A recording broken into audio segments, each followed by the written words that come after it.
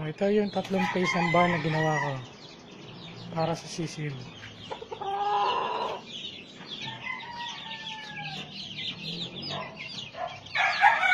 Yung pangalawa. Medyo maluwag. Kasi ito yung pangatlo. So, ang division niya, dalawang flying pen. Yan, saka ito. Kasi nilagyan ko na lang siya ng air sa gitna.